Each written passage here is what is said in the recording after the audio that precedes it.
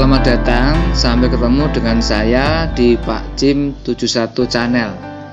Saya akan menyampaikan materi prakarya SMP kelas 9 semester gasal Bab 2 bagian 2 yaitu pengolahan daging Dengan tampilan template animasi powerpoint yang menarik. Saya akan menampilkan slideshow-nya. Ya, silakan kalian tunggu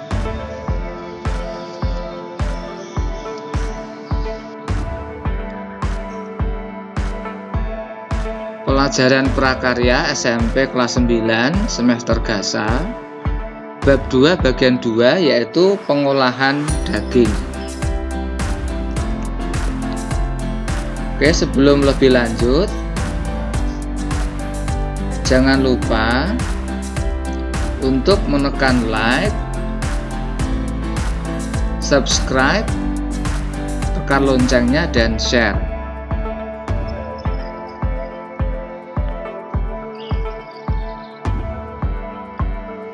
Kita akan bahas pada bagian pengolahan ikan yaitu tentang bahan pangan daging. Pada yang lalu kita telah membahas pelajaran prakarya bagian 1 yaitu pengolahan ikan. Ya, kita ikuti untuk bahan pengolahan pangan daging.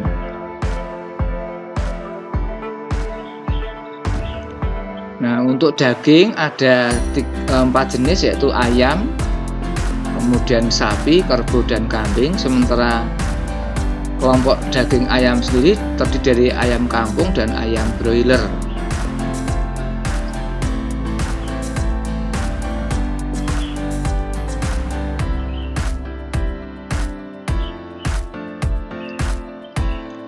Daging yang sering dikonsumsi masyarakat adalah daging ayam.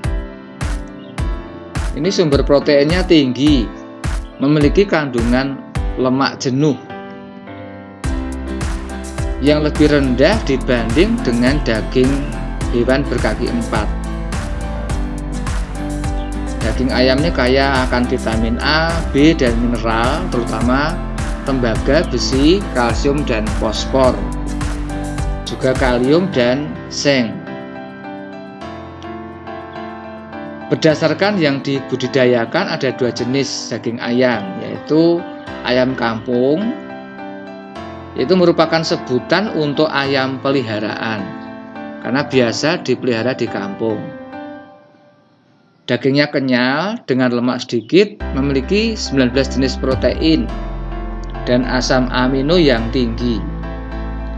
Nah, jenis daging ayam yang kedua adalah ayam broiler ini dipelihara atau diternakkan dalam partai besar hasil dari persilangan ayam ras dengan produktivitas yang tinggi. Umur panen sekitar 5 sampai 6 minggu. Kandungan lemaknya sangat tinggi, terutama di bawah kulit. Untuk mengolahnya atau mengkonsumsi sebaiknya dibuang dulu kulitnya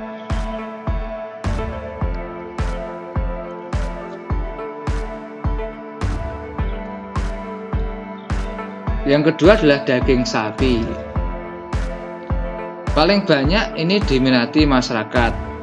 Rasanya lezat, dapat diolah menjadi aneka masakan, berwarna merah. Bagian sapi yang paling banyak memiliki daging adalah bagian paha. Bagian kepala, leher, tungkai, ekor, lidah, dan moncong juga diambil dagingnya. Bagian usus atau jeruan tidak termasuk daging.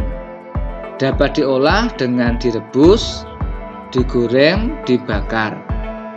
Dapat diolah menjadi rendang, semur, bakso, abon, dendeng, sosis, serta kornet.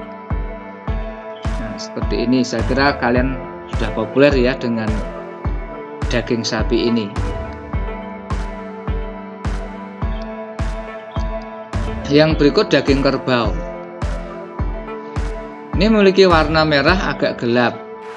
Serat lebih besar dibanding dengan sapi. Kandungan lemaknya lebih rendah dari daging sapi. Dikonsumsi sebagian besar penduduk Asia Selatan. dan Asia Tenggara yang menjadi asal hewan ini. Pengolahan daging kerbau biasanya sama dengan daging sapi. Nah, seperti ini tampilannya ya. Agak lebih merah. Yang berikut daging kambing. Ini merupakan sumber gizi bagi negara berkembang. Lebih empuk dari daging sapi dan daging kerbau. Serat dagingnya halus dan memiliki aroma khas dapat diolah menjadi sate, sop, atau gulai. Seperti ini warna daging kambing.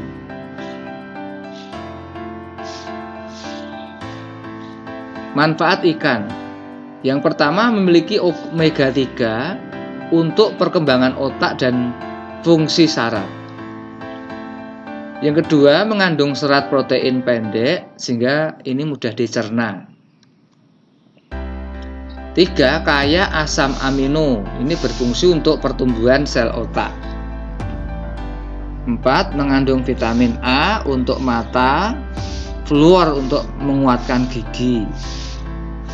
Lima, mengandung vitamin D untuk pertumbuhan dan kesehatan tulang. 6. Mengandung vitamin B6 untuk metabolisme atau mencegah anemia dan kerusakan saraf. 7 mengandung vitamin B12 untuk pembentukan sel darah merah.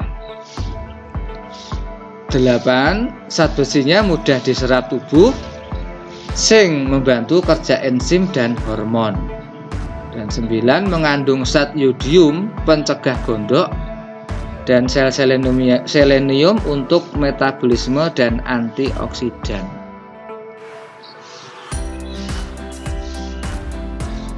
Sekarang manfaat daging. Yang pertama ini kaya vitamin B dan mineral. Ini untuk sistem syaraf dan pertumbuhan. Yang berikut memiliki 9 asam amino esensial. Ini fungsinya memperbaiki sel yang rusak. Kemudian mengandung zat besi, Heme lebih mudah dicerna dan ini anti anemia kaya vitamin D dan B. Berikut mengandung zat besi dan selenium. Ini sumber penting untuk imunitas tubuh kita. Kemudian kaya omega 3 membantu fungsi jantung, hati dan syaraf. Oke ya, demikian dahulu pelajaran kita kali ini. Sampai jumpa pada kesempatan berikutnya. Salam damai dan merdeka. Oke, sebelum lebih eh, sekali lagi jangan lupa untuk menekan tombol like ya, kemudian tombol subscribe. Tekan loncengnya dan kemudian share. Oke, terima kasih telah menyaksikan video saya. Kiranya bermanfaat.